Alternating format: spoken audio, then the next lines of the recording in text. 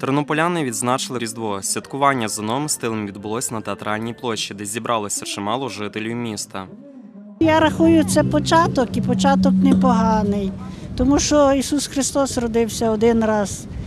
А по двох календарах два рази відмічаємо, поки що воно ще неофіційно. Завжди правило перемагає що більшість.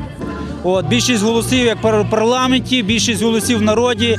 І якщо оскільки сьогодні весь світ святкує Різдво 25-го, я думаю, що це правильно, оскільки ми були довший час під пострадянським союзом, під е, цим радянським комунізмом, який диктував нам, е, ожорсточував нас і диктував свої умови, то я думаю, що е, як більшість світу святкує це свято 25-го, то я думаю, що нам теж належить святкувати цей день. Тернополяни та гості міста переглянули різдвяний мюзикл Хто ти у виконанні акторів-аматорів, які показали сценку народження Ісуса Христа.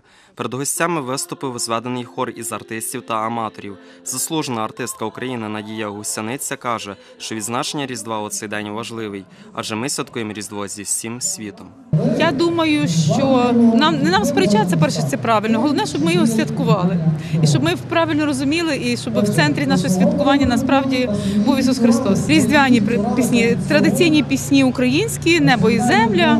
Е- Щодо запредиву Василя Барвінського, а також я так думаю, що будуть і європейські різдвяні пісні. Офіційне відзначення Різдва за новим і за старим стилем не тільки урівнює у правах вірних різних конфесій, а й єднає українців, зазначають представники різних конфесій. І ми разом святкуємо з євангельськими церквами міста, також ну, і католицькі церкви, і взагалі інші церкви по цілому світу, по Європі відзначають святвечір. Моя особиста точка зору, що ну, не так залежить від конкретно якоїсь цифри, якоїсь дати, як від того, ну, що ми святкуємо, що ми в це вкладаємо.